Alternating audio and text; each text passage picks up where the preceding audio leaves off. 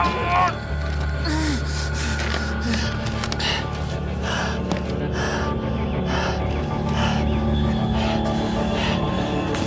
I spoke to Mr. Copeland earlier and he agrees there's no reason I can't date him. Sorry? The whole Protestant and Catholic thing doesn't really matter anymore, so there's nothing really standing between me and Geoff. Hang on, did Geoff ask you out? Well, no, but we've been chatting lately and we've got a lot in common.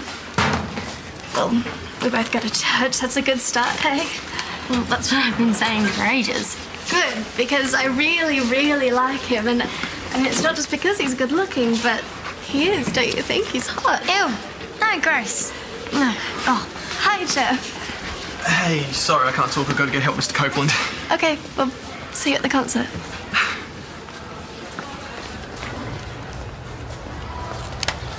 Mr. Copeland. Geoffrey, you heading down to the hall? Yeah, but I was wondering if I could just ask you something first. Hit me. Okay, um, what happens when everyone tells you a girl likes you and it's kind of obvious that she does, but you don't like her in that way? But you don't want to hurt her feelings, but you still want to be her friend? Mm-hmm, mm-hmm. I don't know, Geoffrey. I think maybe it's, you know, the old saying, honesty is the best policy. I just tell her how you're feeling.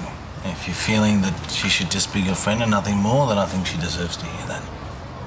And that really works? You'd hope so, wouldn't you? So it's that easy? No, no, it, it shouldn't be that easy. You're dealing with people, Geoffrey. But you should do it.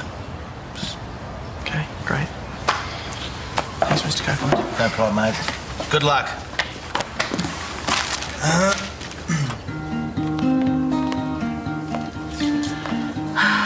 I should really make a start on taking these down. Just makes it feel so final. You're forgetting, love. This isn't the end, it's a new beginning. These photos, yeah, sure, they're precious, but at the end of the day, they're all just scraps of paper. It's the memories. They're what really count. Yeah, I know. Thank you. How about we tackle them together? Then we can start getting ready for this shindig of yours.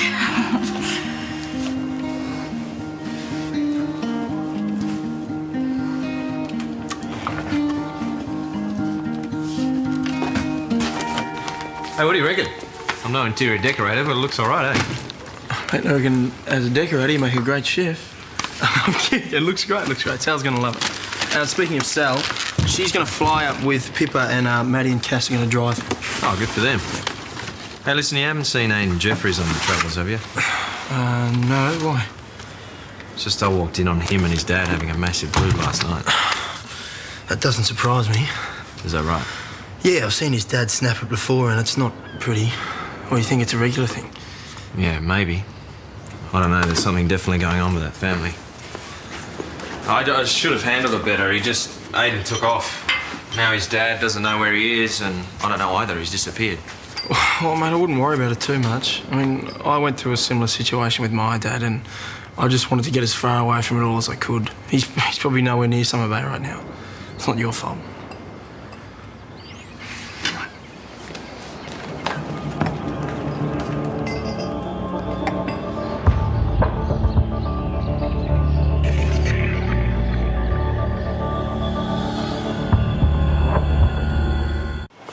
I hope Mr. Bartlett's speech doesn't go on and on and on. Yeah, and that's if we get that far. Even Mr. Tonkin's making a speech. Oh, it won't be that bad. Even if it is, we've got the party at the pier to look forward to. If we don't die of boredom first. We're going to take the shortcut back to the school. Yes, we'll see you there. I thought he's too slow for you. No, no, we just want to talk more about our road trip. Oh, uh, don't worry, I'll let you girls have a head start. Then I'll find some way of holding her up. Hey, hold your horses. I'm not as fast as I used to be. Oh. Floss. He said two words since we left the house. I felt funny ever since we left home. Something's not right. Someone's in trouble. The troublemaker's in trouble.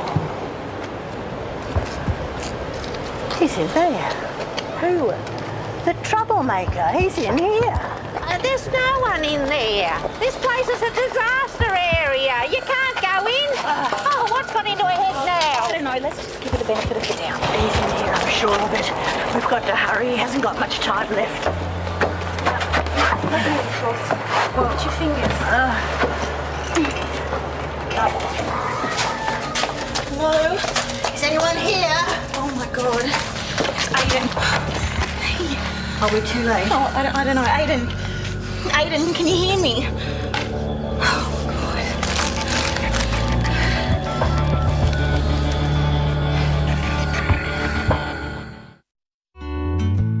Summer Bay when I was a, an eight year old girl. And the only thing I knew about it was that there was a beach and a, a caravan park. Um, I didn't know that I would spend the next 20 years of my life here.